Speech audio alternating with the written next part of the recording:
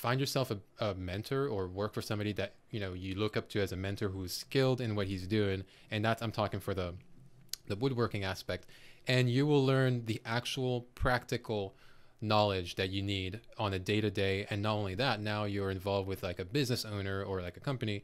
So in that regard, you're going to learn so much more about how the real world works and not so much. Theory.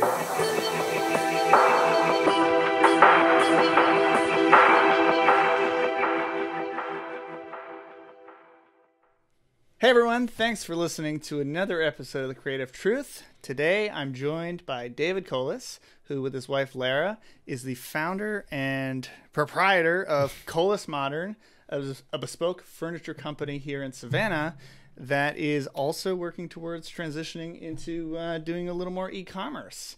Um, so, amongst other things, also a fellow skateboarder, also David helped provide the pallets, which turned into the Crate Marketing wood wall. So, um, yeah, he's uh, he's this is his first time in front of the camera, but he's been behind the scenes for a couple years. We met when I produced a little promo video in 2018, so we've known each other for coming up on three years now.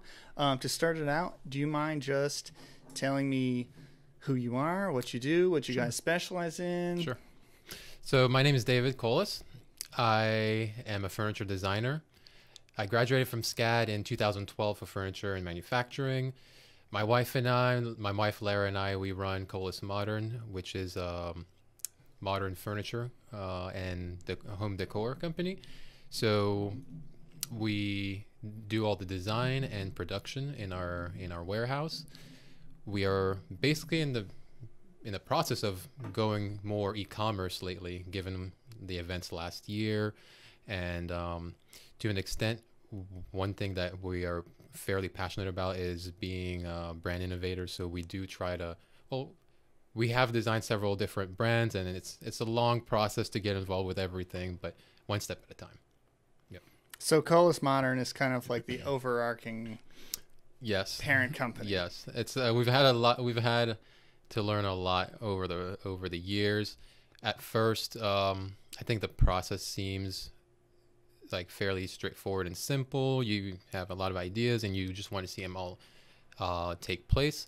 But then um, over time, when you see how much is involved in all the steps of setting something up or, or figuring yourself out in in that realm, um, it brings reality back down a little bit. So um, now it's more strategic. I would say the process has to be more strategic in this at this point.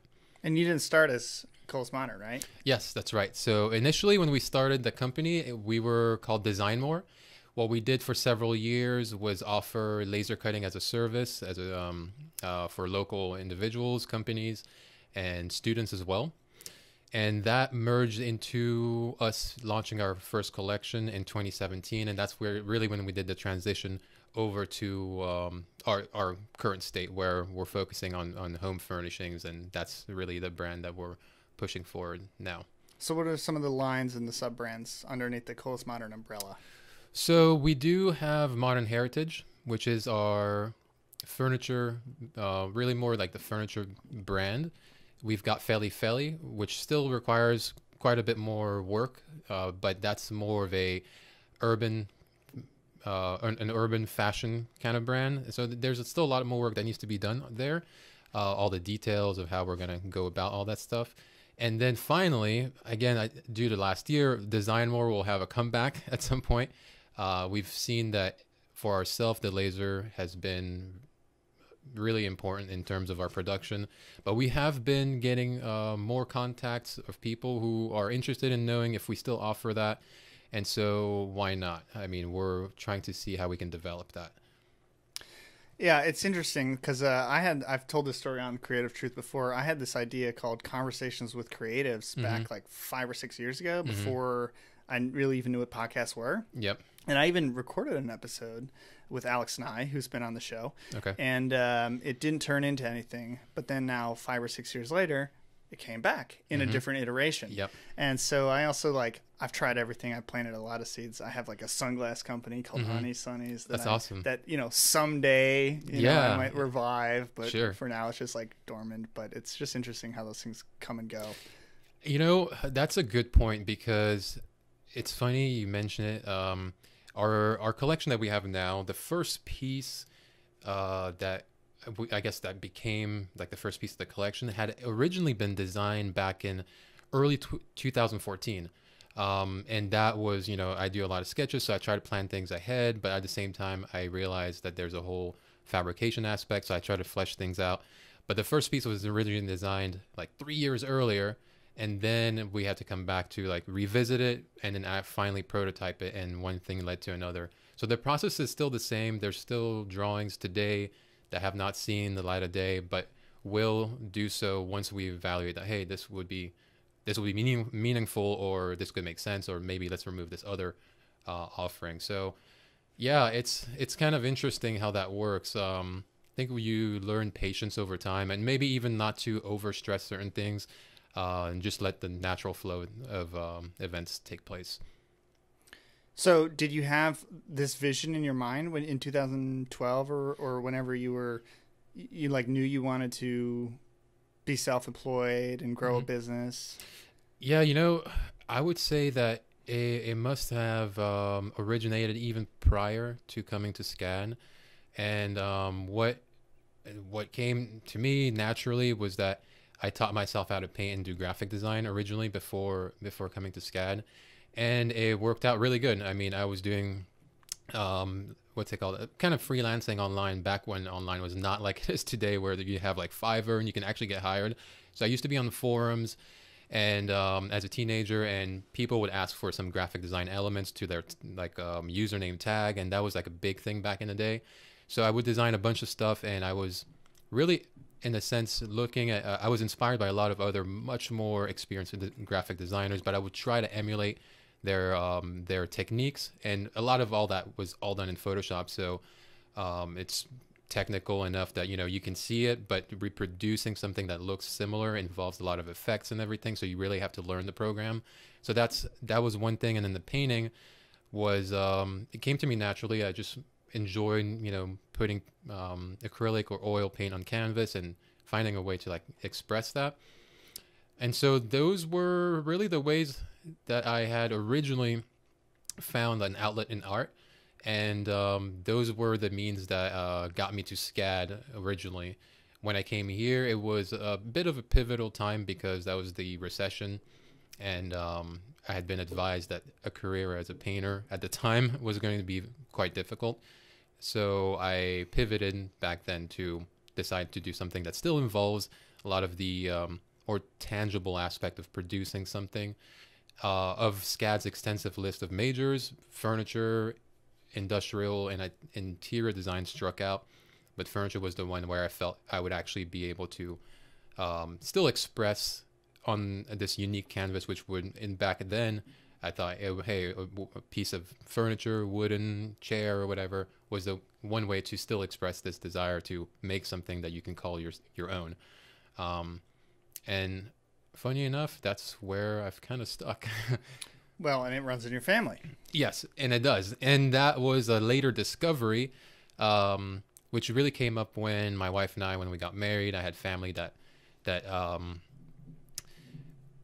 just asked me if I was aware of this history of craftsmanship on um, my father's side, and they really opened the doors to all this knowledge that was not privy to originally, or maybe it was just hadn't been shared, and then now I was aware of it, and all this, um, um, these tools that my grandfather had kept for so long found new utility in me just wanting to have them, keep them, and show them to, you know, my kids today. But at the same time, because I'm in that process of actually um, fabricating something, it just is a pretty neat reminder of hey back you know over 100 years ago this is what they physically were using and someone's hands was on this. Um, and now it's been passed down to me. And so i still feel um, there's a connection there that's pretty unique i think. You said um, you said eight generations right? Yes. Yeah. yeah, yeah, that's right. So as far back as we can trace, yeah, uh, back to the 1700s or like early 1700s, which it's pretty incredible enough, I think. Uh, then later on, we have some pictures, some early photography, which is kind of neat to see. It was like pre World War, uh, the first, the Great War, really, World War One, and so you kind of see some of um, my ancestors and uh, obviously black and white photos. But that, yeah, that provides context. I would say it definitely provides context to that lineage. It's almost like it's baked into you. Yeah, yeah, yeah. I, I mean, and you know, my my second older brother, he's actually an engineer. He grew up being very tactile, like always like making something. He was into uh, RC planes and RC helicopters, so he would build a lot of his own modules and he would mess around with the controller to really customize these things. And so he was selling individual like customized units. Um, I had an affinity for Legos and I really like building unique things growing up. And I, no one really saw that I had this path that I could take where I was also going to be uh, involved with my hands because for my older brother or my second older brother, it was more apparent. I mean, he and he's an engineer today, so it was really apparent, and they saw that. And I think the um, for myself, it was more. It, I was like nurturing all these ideas in my head, and then physically, uh, it was like a phys- small physical manif- manifestation on Legos, but somehow in my head, it was really much wider than that. So when I took on painting, it wasn't a stretch for me because I could see how I can construct certain things a certain way. And I had a lot of definitely influences, like major painters who their style and, or what they painted or you know what they were going through in their lives in terms of the the period of uh, of painting that they were doing, how it influenced them. That did give me like a little bit of a background as you know what does it mean to be a painter and how do you find your own style. And I think that I struggled with that at first, like what is my style or who am I in, in the painting world. And originally, even in furniture, same thing. You want to figure out what you like best and how you're most useful with the skill you can provide. Well, and it evolves too because And it does, yeah. Yeah, exactly. you and I have talked about how Colas Modern. The emphasis was like super modern um, furniture, and uh, it's kind of now modern heritage. The line Yep, is kind of blending the old with the new. So, exactly. Yeah, and I've been at my crafts for a, a while, but it's constantly just evolving and changing. That's right. So you also mentioned something interesting to me uh, the other day, which is which I never would have thought of. Creating a table, it's a standard height, it's a Yep. standard width. You know, it's got to be pretty structurally sound, hmm um, but it's not super complicated. Right. It's a slab with four legs, or, Exactly. or you know, with Yeah, legs yeah. of some kind.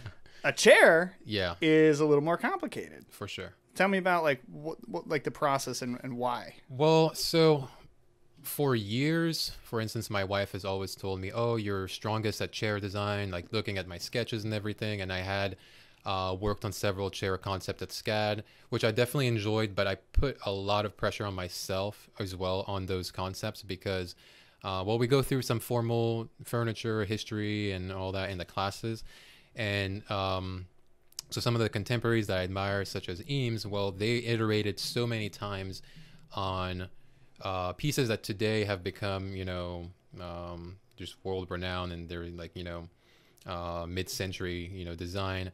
But they iterated a lot to get to a point that they thought was adequate before it really went to like market or before they thought, okay, it's done now. Um, that coincides a little bit with a painter's touch in the sense that you never you can always add one more stroke but you know and to the Sometimes you have to viewer walk away. yeah and to the viewer they'll never really see that. But when you are the one in, like doing that you there's always one maybe one little thing you can add. And so the way i look at chairs now is definitely i i don't yeah i can you know put several pieces of wood together and as long as you can sit on it, it it's a chair I what I try to consider now is really the longevity of the piece, how it might be received over time, and also the durability of what you're actually making, so that it makes sense, and that it's not just to say you've made a chair and then it just gets lost in that context, but to make something hopefully, and with the idea that when you iterate so much and then you come to that result that you're pleased with, it's almost like the piece itself now has a life of its own, and other people who either interact or see or use it, they almost feel something with that this piece, and it's really like Family heirloom. yeah, it's it's an, it's unusual because you would say like the Eames lounge chair originally after all these iterations that they did, it just took off and had a life of its own, and today it's still regarded as a really strong um, piece of furniture design, um, and even for those who don't have any prior knowledge in furniture or furniture design or that world, they still have this unique appreciation for the piece without even you know really knowing too much into the the the background. And i think that that somehow i think the process really gives that extra life to the to the piece. And you know it's it just change it, it the context is way different than just designing something for mass production. Um, I think that that's one challenge I have now with how much I realize the chair design. I want it to be something um, just strong, strong and, and not for volume, but just really for quality. Yeah, and if they are something we talked about too is if they are mass producing them, they've got these machines that'll Oh yeah, yeah. like All the presses, yeah. reps. Exactly. It's so impressive, and I love knowing that those machines exist because, yeah, you see them in in action. They're just doing all the like whether it's like a bent chair or metal, whatever. All the processes are they're working in action. I think what's unique and what's cool about that is you can build up to that point where it necessitates having to have you know that process be super efficient because it's like in demand, we'll say.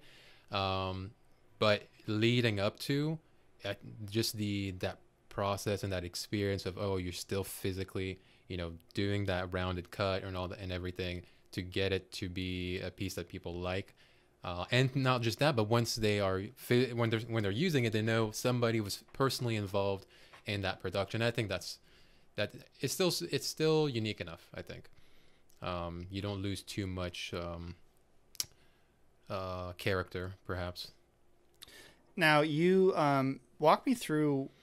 You've lived all over. Where you Mm-hmm. where you where you're from, where you've lived, and where Lara's from, and, and how you guys ended up meeting. Okay.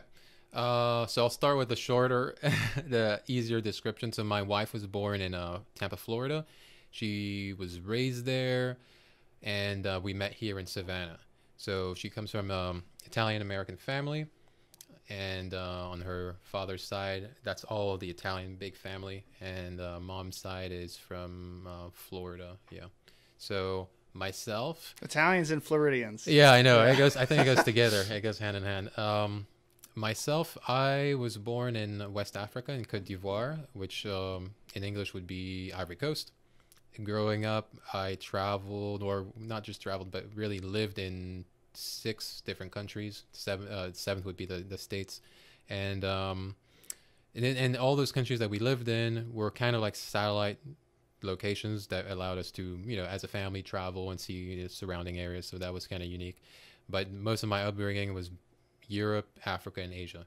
And so prior to coming to the States, I actually graduated in uh, high school in Malaysia and then came over to the States. So it's been um, quite a world trip almost in a sense, but it's been unique as well in two senses because it gives you that a sense of adaptability to different cultures and people, but at the same time, back then the technology was not to the point where it is today. So as I got used to you know moving, at the same time, all these people you met for the most part you lose contact with them, Mm. and uh, especially when you're younger. By the time you know where I was in high school, well, in MySpace and Facebook were in their infancy, and then there started to become like this exchange that could be kept over time. But um, I would say that that looking back today, I would wish that there was an easy, there had been an easier method to keep in touch with with people. Um, and then you, where'd you say you guys met? Here in Savannah, Lara and I met here in Savannah. Um, she was running a uh, art gallery at the time, and I was basically completing my degree at SCAD, and I was uh, a friend and I were hosting. We're planning a um, like our own senior show, and so we uh, decided to do it at Ashmore Gallery, where she was the gallery director, and so we arranged the whole thing. And so that was our little senior show. We invited um, professors, friends, and everything. And so that's how originally how we met.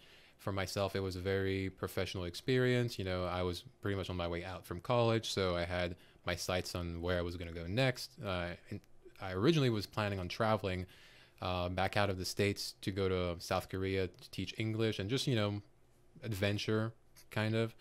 Um, but following the exhibition, we kind of kept in touch, and then you know one thing led to another. We began dating, and now we've we're, you know expecting our third child this July. So yeah, and it feels it doesn't feel like it feels like time has probably gone by quick, but at the same time, like it doesn't feel like too long ago. It's, it's kind of unusual. Yeah, that is kind of like the. Yeah. It's like it feels like yesterday, but at the same time, Yeah, you like realize- yeah, I think, I think exactly. that, that, that that feeling of it feels like a long time ago is because we changed so much. It's Yep. like I was a different person. Yep. in 2012, Mhm. kind of thing. But um, what role do what role do you play within the business, and what role does Lara play, and then what do you do together? Okay. So I'll start with together. Together, we we definitely try to have some meetings uh, and see what tasks need to be either delegated or completed on both just like little admin or the whole a whole direction of uh, whole design process. Myself, I do all the design work. I make sure that um, the whatever designs we do, or I've got the technical drawings and everything in place. I really also oversee the uh, managing of the production and um, just the business as a whole. So I have to have my hands in a lot of things because uh, it's just the two of us. And Lara makes sure also also managing um, the everyday operations and also uh, social media and what our uh, brand looks like and what you know the direction we go into.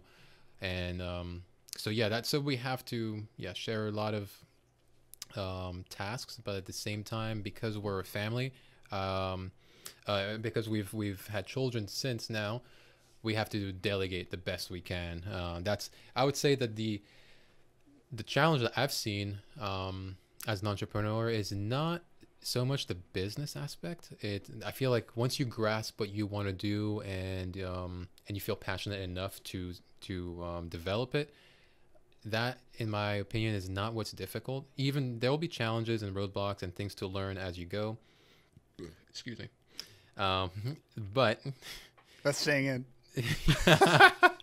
uh, i would say it's a bigger challenge to be a parent and an entrepreneur at the same time because you're trying to be your best in two different worlds. One where you're really raising a child and there's so many unknowns. It's the first time for pretty much every stage of the way. And you want to give it your all. You want to be present. Uh, you want to you know also teach them or inspire them. And then on the inverse you have you know this business which um, you know people say oh like my business is like my baby or my first baby and so that's already i think in people's minds how they treat a, a business. And so trying to do both at times you have to um, just um, what's it called? Compromise not say compromise but maybe a little bit where maybe something has to take priority. Uh, if a child is sick for instance well you have to kind of put down um, something that you thought was immediate and make sure the child's okay. And at times there but if you if you know you your child wants to play or something on and you know in their world it's always free time and you have this one deadline that you're really trying to meet well then you're like well you know i'm gonna have to choose to like not be able to play right now and I need to you know see this goal be met and I need to see the ball you know moving on some of these steps. So I think that that's a big challenge. Uh, it's actually a pretty incredible challenge. Uh, but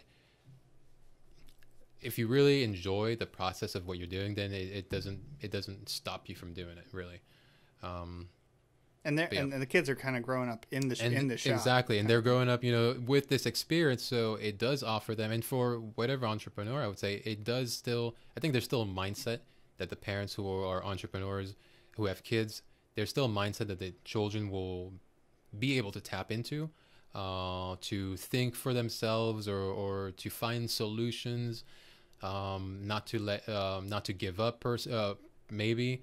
Um, so there's a lot of skills that can be passed down uh, that way. And uh, that's what we're noticing. So we see a lot of interest in uh, our children in basically like sometimes art music and even thinking creatively about certain solutions. We do notice that. And so and it's not like we're always actively you know uh, trying to um, put that on them but just because they're observe they're constantly observing they're now returning the conversation with us and that's sometimes it's kind of funny hearing what they have to say Um, I'm not a dad yet, but Mhm. I my gut says that based on where I've lived in my life, that Savannah is actually a really good town because Mhm. for for being a an entrepreneur dad, mm-hmm. entrepreneur parents, Yep. because there's kind of this mentality of like it can wait. It Right, can- yeah, yeah, yeah. You know, it's like urgent, but like it's not that urgent. right yeah so clients might be asking you for deliverables, but at the same time, there's this definitely like this emphasis on family Mhm. and uh, and um, maybe we're we're in other places um, like the like New York City or something, for Mhm. example. There's not as much emphasis on family life, and it's Mhm. more just about career, career, career. Yeah, that's a good point. That's a very good point, actually. And um, it'd be hard to speak about New York because I know so little. But I, uh, my wife did live in New York, study there for a little bit, so she is the. Uh, she's kind of told me, you know, what it's how the differences are and how Savannah, well, Slovana at times, how Slow. it, yeah, how it's uh, definitely more. It's easier to live as a family. Uh, and the uh, parallel I could make is that the little again I know of like Paris because I never really lived in Paris, but is uh, people are fairly fast paced and they've it's like a not to say just only a go getter mentality, but um, it's definitely more individualistic and it's also very career driven. Not to say it's not career driven here, but maybe there's uh, there's more um, it's a little bit more relaxed and um, family values also are at the forefront. So uh, that's always a good thing. Um, how about um, just like generally? I think that it's um, not every couple can work together because some people feel like you're at home all Yeah, day yeah, yeah. together or all night, and then you're at work all day together. Yep. So, what are like some secrets to? Uh, I mean, and everyone wants to be Chip and Joanna Gaines, right? I know, right? Yeah. yeah. so like what are some of like tips or um, like you know how do you how do you how do you build that relationship where you can like not only be life partners but business partners What's made it easier for us? It's sure in the beginning, even before we had kids, there was well, even when we had before we had kids, we still talked a lot about business at home because you know there wasn't that other uh, care you know that we really had to um, to dedicate to. So there was a lot more of that and a lot more of us doing what we wanted. But at the moment we had kids, yes, that conversation really came up. Where do we just leave work at work the moment you leave? Or do we talk about it a little bit more at home? But that becomes inconvenient very quickly, um, or yeah, or it can clash very quickly. So I think the the boundary that we've given ourselves, or like the way of thinking about it, is when we come into the office. Well, um, it's like we're empl- we're employed by our business, and so we behave as such, and all conversations are within that context. And then when we go home, um, it's important to disconnect from that uh, mentality and you know take care of what needs to be done at home. And once let's say the kids are in bed or whatever and you know you're still you still feel like willing to go into those subjects then definitely we still uh, are able to dedicate some time to reviewing certain things. But you definitely have to delineate those um, that responsibility or that, that task because you don't want to overload like you like kind of touched upon. Um, that can get uh, dicey pretty quick. Well and you just i'm sure you just be like open about it like yep let's Yep. uh let's leave this for it can Y- wait And you know, so I, I would say the biggest, so the biggest um, advice, I'm, I don't know if I would say advice, but the biggest thing I would say is communication. It has to be thorough and direct and transparent. Um, not only is that a good um, uh, value for like a marriage, you definitely want to have open and clear and you know communi- communication. But then when you add again working together, I have heard of a lot of uh, sayings where it's like, oh, you should never work with like your spouse or whatever because it can like deteriorate really quickly and like ruin your marriage. Um, well, depends what you do. So I can't speak for every realm, but um, my wife, I, my wife and I, we work really well together. Um, we share the same passion, but at the same time, um, within both worlds, home and work, open, clear communication is the best thing. Even if we disagree, it has to be said like right away, like that we disagree, and then we then we find a solution from there, as opposed to the silent treatment or whatever.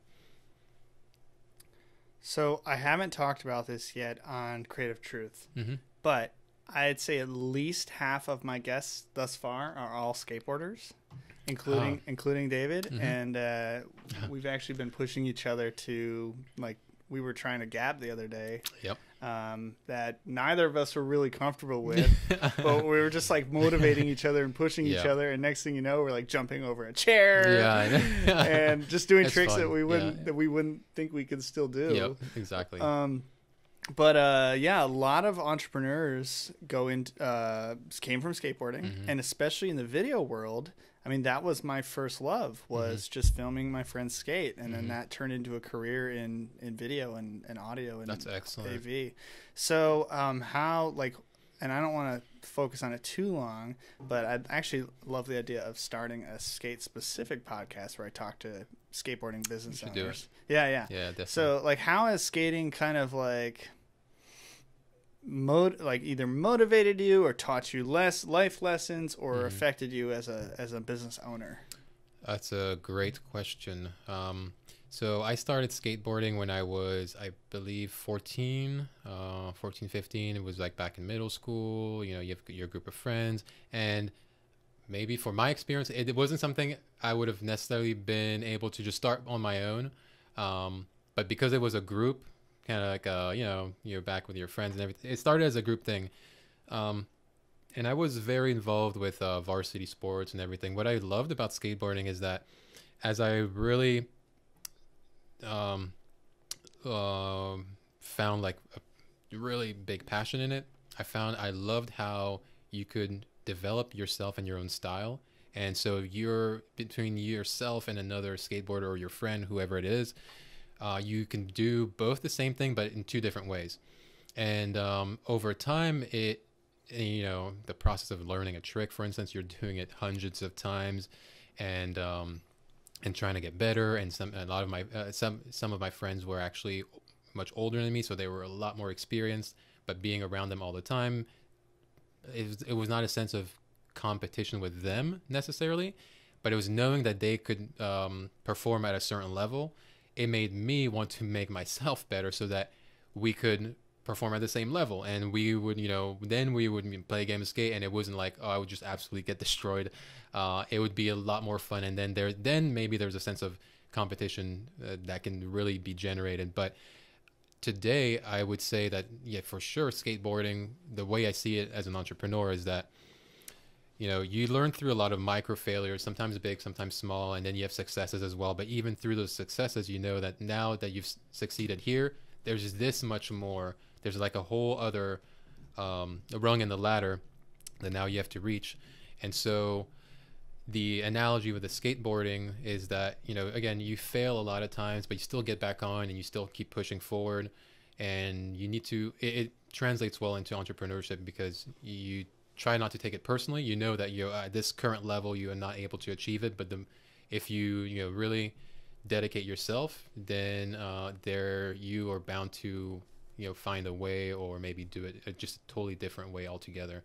Um, so yeah, I mean, growing up, there was I, there's a lot of like skate prof- professional skaters that just influence you in like in so many different ways, and they've become uh, entrepreneurs after their career was done, and it's really interesting to see what they get into, because for a good, I would say for a good portion of the ones that I kind of like looked up to or whatever, they've succeeded in that in that mission as an entrepreneur.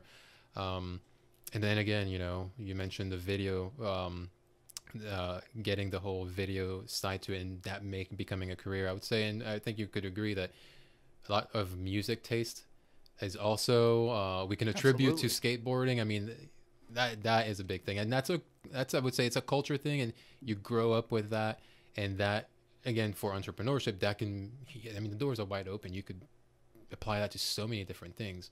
It's funny because here in Savannah, I've been I've met with several. Um, people uh, who are either uh, um, parents now today or just you know in their career and i've heard so many times now that they were like skaters when they were younger and everything and they oh used to love it riding here and there or like they were uh, they lived at a point in time when they were at the original you know lords of dogtown kind of thing in la and i'm like whoa this is fascinating and there is a lot more Stacey skaters than, right yeah, yeah. there's a lot more skaters than you would uh, that DNA exists in a lot of different people. Um, and that's why I think it's something that you know you and I can relate to. Would we would want to always keep pushing, keep rolling, Keep pushing, yeah. Yeah, keep pushing. Now I could talk about skateboarding Oh, yeah, for all sure. day, which is why it could be its own. Yeah, it it if you to. if you if you're listening and you skate, uh, let, let let me know if you think uh, we could you know do a do a whole podcast on its own about that specifically. But let's get back to uh, the business Yep. uh, f- of making furniture and and housewares. Um, what do you like the most, and what what's the part you like the least about what you do? The the part I like the most is the process of the the image, the design, the idea being on paper somewhere in the beginning, uh, regardless of how long before it gets produced. But then seeing the uh, the uh, process of the production taking place. So it's that that actual process is so exciting because you're really your whatever inspiration you had now it's becoming a real thing in the real physical world and i do like that probably even as much or more than the final piece once that you see it because that's like mission accomplished at that point. Um, of course the actual building is fun um, but the the pro the manufacturing process and the way we've laid out our our our, our um, um, workshop and everything that I would I find a lot of passion in that and making it the most efficient as possible. Uh, and then uh, on the other side of that I would say the thing I like the least um hmm that's a good question. I'd say maybe making changes like midway or finding that something doesn't really work when you're about midway and yeah, you had the fabrication drawings, but then you encounter an issue uh, which will require a change of design and but you've almost kind of committed to the process. Um, I like that at least, but at the same time, it forces you to find a solution because you're midway. You're likely not going to want to waste whatever you're working on. So you find a solution, and maybe that becomes incorporated in this the next iteration. So um, I would say that, yeah, Hmm. it can be frustrating at times, and you know, much bigger f- um, companies like, for instance, I'm going to lean on Tesla a little bit. Oh, Elon lean there, but for instance, he's been um, put in the spotlight for when he would say uh, a, a certain model car would come out. And then when that time comes around it's like people are like so where is this you know deliverable? And he's like oh well we had um uh production nightmare i think that's how he put it. So but that's just be- and that is frustrating for him because he knows on paper the idea that they have but then in the process now there's like what one robot that fails at doing whatever and it, it halts the whole process. And and then he knows what it needs to be like at the end but then and he's constrained to the expectations. And so delivering on that can be very frustrating but you find you you figure yourself out. And well in, in this example in this particular example they figured it out. The model cars came out and then you but it's still learning process. The more you add it's not because you've done it necessarily once that the next one is just as easy. There's there might be other things that you that you encounter. So it's the same with uh, the furniture we produce. Every piece for instance a table might lend itself to being certainly more uh, straightforward than the putting together all the steps for a chair. Um, and then when you hit that roadblock, if you, you know, if that comes up, then yeah, it's always something where you have to um, troubleshoot a little bit, and that's really it can be frustrating. So you mentioned the the possible revival of Design More. Yes. Um, what are some other ways, and we've talked about potential of using augmented reality, hmm that you would like to expand and grow in 2021 and beyond? Well, you know, we're latecomers on the e-commerce front. I know that that's not a new thing, but I think given the events last year in, in 2020 and COVID and everything, um, We had just developed a marketplace, like we yeah we just developed a physical marketplace to really bring and introduce people and talk to not only creatives but design professionals and, and people in the trade as much as uh, people who would walk in and you know want to purchase something so we had spent all this uh, development and we had finalized it and everything had been built and planned an open house. planned an open house for April. So we had done everything. Everything was ready in, in February. We were getting ready for this April event to open the doors officially. Well, we delayed that um, because obviously with lockdown restrictions, um, we had to respect, you know, how many people uh, were allowed in a group setting. And throughout the remainder of the year, we just um, we figured, okay, word of mouth has gone has done well in Savannah, and it's been, you know, we've we've had our like way of working, But then we realized that we there's this opportunity now to at least really have this e-commerce push because we have the product, um, we have the ideas or the steps that we need to take. Now it's just um, upgrading our own platform and making sure that it is uh, available to everybody or more easily available to everyone, and that we can extend that conversation. Um, that's certainly something that we are um, we're really learning a lot more today of. It's the beer. Yeah, We're both doing it. oh my gosh. Um, wait, did I leave something out on that answer? No, but the next thing I wanted to follow up with is what are on the e-commerce front? What are some products that people can look for? I mean, what um, Okay. what are you offering? So the e-commerce is going to be um, staged as a whole lifestyle. So there will be things that will furnish, let's say, your dining room, and um, then you can really build around the settings. We'll say. So over time, we'll introduce more things. But the idea, the biggest idea, is that we want um, people to see it as um, a range of different products that you can get from the website, and they will range from uh, smaller products, which um, are more accessible, and then larger items, which suggest that you're almost like remodeling or you're swapping out old furniture for new, which uh, implies a bigger commitment uh, versus getting something as small as, like I say, an iPad holder or a keychain or whatever it is that we will we will offer as you know the entry level products. Um, so yeah, we want to we want to establish it as a whole range of what our capabilities today allow us to do. Um, we don't want it to become something where it necessarily uh, involves too many products, like you know, and I say that because I think of much larger firms uh, where people shop online for a whole range of different things, like you know, Yeah, fountains and uh, yeah, yeah, yeah, fireplaces. yeah, exactly. So we don't want to involve too much, but um, make sense with um, consumers today who are a certain demographic where maybe they're just getting into spending for stuff in their home, or people who already have a home and have kids, and there are certain things now that they are looking into getting, transitioning whatever furniture they might have, but being able to also shop for more than just you know larger physical furniture and also but also look for smaller items. So we're we're examining more now how we can incorporate some of these smaller items so that people can can um can understand the whole idea of the lifestyle but also be involved as you know they're not just buying furniture they're they're they're um in a sense uh, becoming kind of like our family and seeing what we are interested in because all the items we will present on the e-commerce are things that we personally um, would buy or that's how our own home is furnished. So it's it's infused with a little bit of our own personal style and preferences um, and, and you know kind of offered to the world. So specifically, um, on the modern modern heritage line, Yep. the Butler boards.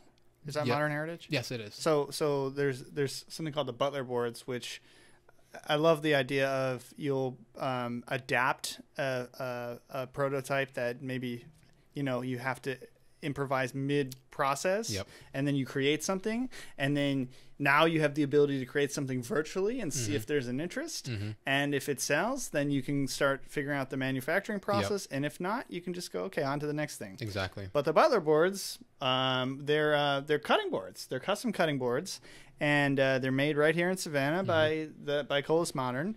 And um, they've got a little bow tie and Yep. suspenders and little buttons Yep. on them. And it was something that you weren't necessarily um, having the intention of making it part of your core business model, Yep. but they're popular. Yeah, they. Be, it's so funny you bring that product up because it was designed a little bit on the whim. I was. Um, I don't even necessarily remember the year. I think it may have been 2017, maybe 18, uh, and it was.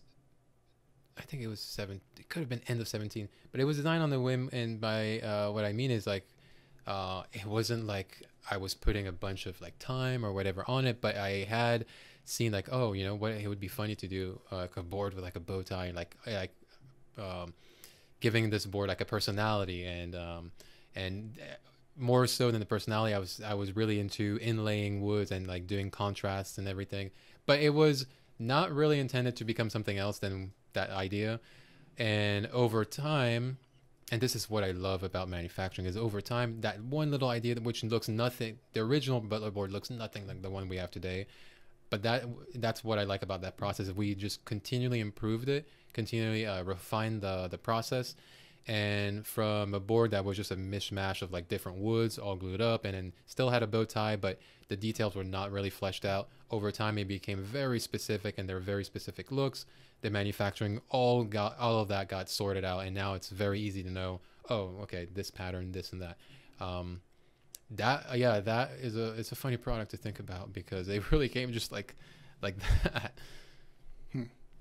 Um, we're uh, coming up on towards the end here. So one of the last questions I always ask is uh, for for people that are uh, maybe just finishing up high school or they're in college and they're about to finish up college. Maybe they're not in college yet. Um, to become a furniture maker or a craftsman or a woodworker, um, do you need to go to college? Do you need to go to a, a high-end art college like SCAD? Do you c- can you just go right into the trade? Do, I mean, um, can you learn stuff online? What are some kind of pieces of advice you'd give people to fast? Can you apprentice? I mean, I mean, how do you get started in this industry?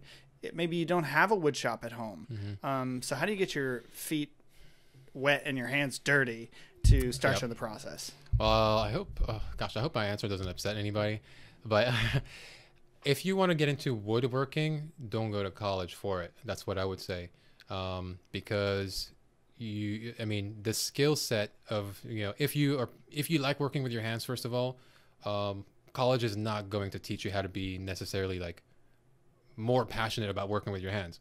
Uh, you're going to learn new skill sets, new insight, new pieces of history that all inform.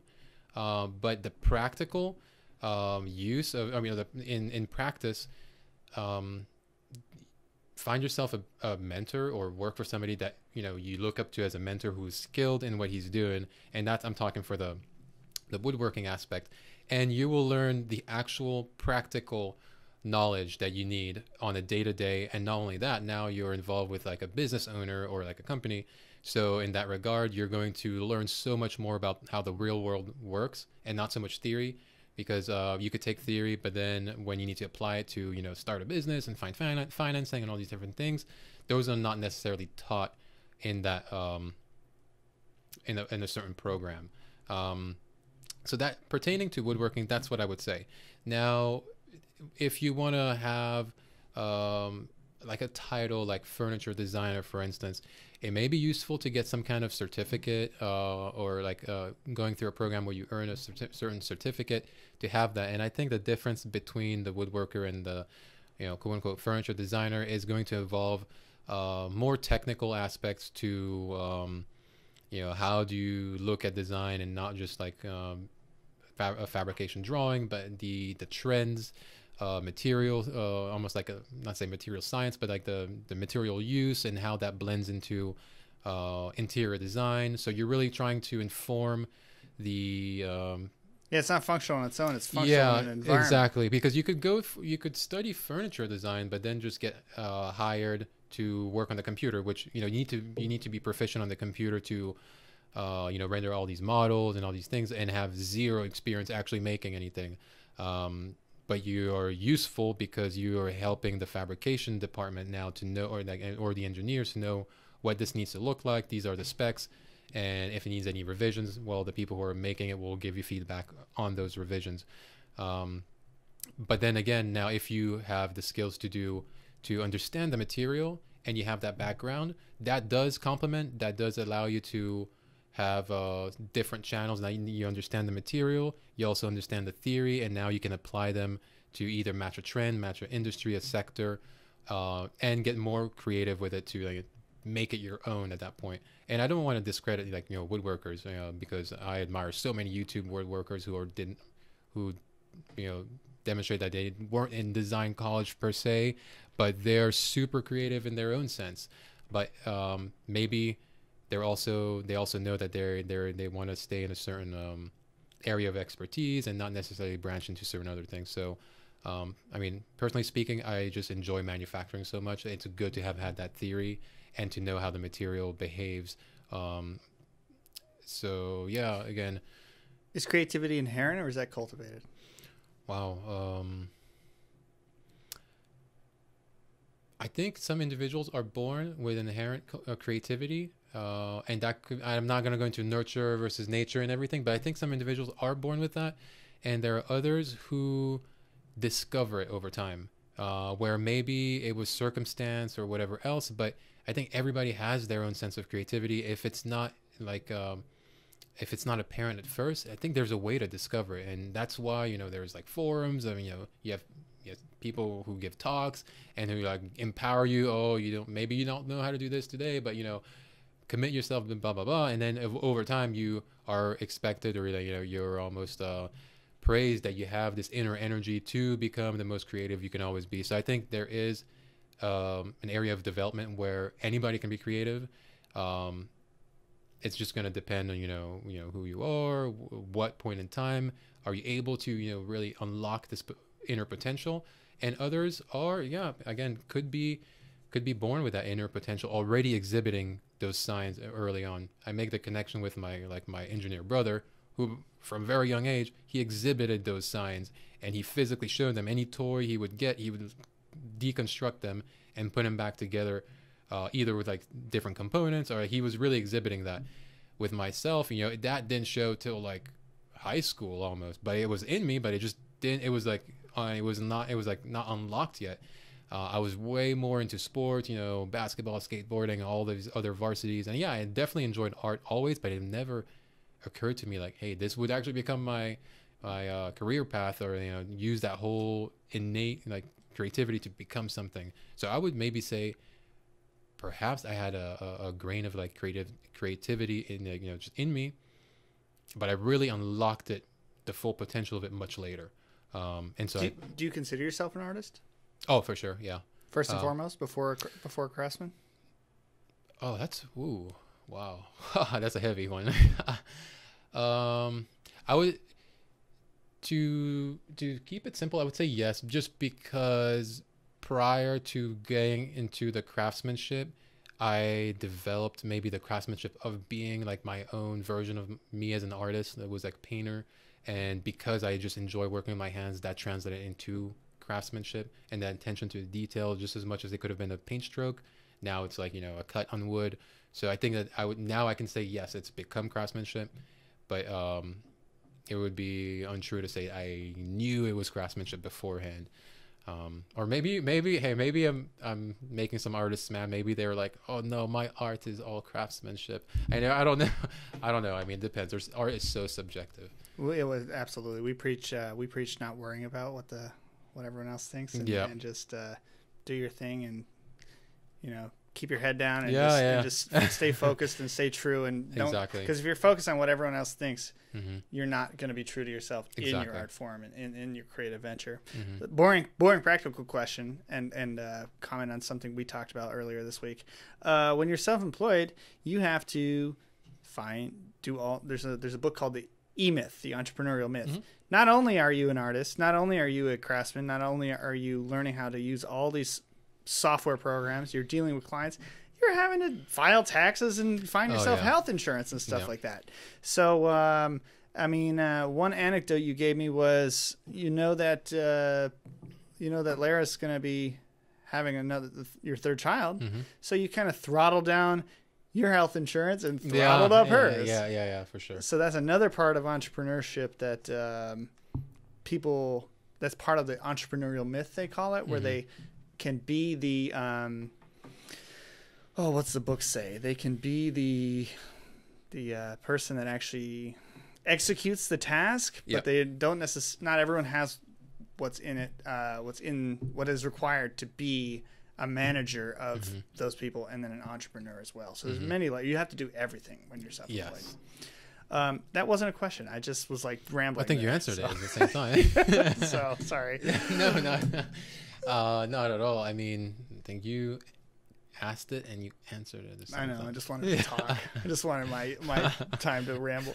Um, but uh, give me give us a give us a plug. I mean, how can people Hmm. find more? And I want to, if you guys have, if you're listening, if you have questions for David and Lara, I'd love to have Lara on as well. Yeah, yeah, I'd that love would to be have great. you. I'd love to have you back on to talk more just about skateboarding. Mm-hmm. Um, so if you have questions about that, you can uh, you can you know drop them below if you're listening watching on YouTube, or uh, you can send me an email at we create truth Mm-hmm. at gmail.com if you're if you're listening. So uh, plug plug the business, plug the business is and uh, how do people find you guys? You can find us on Instagram at Colas Modern Design, and our website is uh, colasmodern.com. Um, that's the two main areas. Now we have a Facebook. Uh, we're not very active on there, so our website, our Instagram are the great two great places to find us. Soon, once our e-commerce site is up, I will hopefully be able to come back on here and just give that new update. Uh, we'll try to be you know as good as we can online um, to give you know people to hype it up a little bit and kind of get it going. Cool. Yeah. Um, any other closing words before we close out? Um, since we are on the entrepreneurship um, um, subject, I would say it is. Some people are more prepared to take on uh, the challenges and roadblocks that entrepreneurship entails, and others may be less inclined. I would say. Now I know. Um, I do know individuals who perhaps try to get into entrepreneurship it's definitely daunting because you depending on what you do again because you know not everything is not every um, career path is the same but it, everything really relies on you your motivation how you're feeling and then if you're sick for instance well um, there you go that gets kind of gets cut um, for instance my uh, my oldest brother he's a, a wine importer in canada but everything relies on his presence his trip to France to find the uh, producers and then bring back this knowledge and actual product there. But if anything were to keep him from doing that, whether he got sick or whatever, it can it can really slow down or impact that. And similarly here in in our cases, basically, you know, all that work really depends on you. You don't have somebody over your um, your shoulder, and that's maybe a negative connotation. But you don't have somebody necessarily dictating what needs to be accomplished and done. And you know what? To a certain extent, there uh, that can be a good thing to to be in line with a company and individuals that you really you care about the message and what they're doing and you know being part of that mission to uh, to grow this business or to you know better your skills under this um, this company or in this career path that can be very fulfilling. And um, so for entrepreneurs yeah it's a different um, it's almost a different dna altogether but you are um, you're in your own world liable for all the choices you make and it's incredible to know that one little decision and uh, and consistency can lead to where you ideally want it to go. Um, yep You have to be self-sufficient, Self- yep. self-motivated. exactly I mean, as creative people, I had to. I've had to learn a lot of um, organizational systems Mhm. to make sure to balance everything and Right. to and to uh, juggle all the different tasks. Exactly. So, yeah, and I'm still learning, and I mean that that's part of the goal of this podcast. there's always another rung in the ladder Yeah, Yeah, yeah, no, yeah, yeah, yeah, exactly. And and and just like learning from people, and like I've learned. I've, I mean, I've I always I always learn something from you from you, but I've learned a lot today, yeah. And I appreciate you coming on. well So, thank you for having me. I'm really delighted. Yeah, definitely man, i'd love to uh yeah keep this chat going. For sure. Yeah. We'll we'll do it again sometime. awesome. Sounds so, in upcoming episodes of The Creative Truth, I'm going to be talking to uh, more artists, creative professionals, and entrepreneurs. And so, if you have suggestions for guests or uh, episode feedback, you can reach me at wecreatetruth at gmail.com. If you're watching on YouTube, please don't forget to like, share, and subscribe. And if you're listening, go ahead and leave me a good review on your favorite podcast platform. Uh, you can learn more at creative truth.com. We have some apparel up on the site. And uh, yeah, we'll, we'll see you in the next episode. Thanks for listening.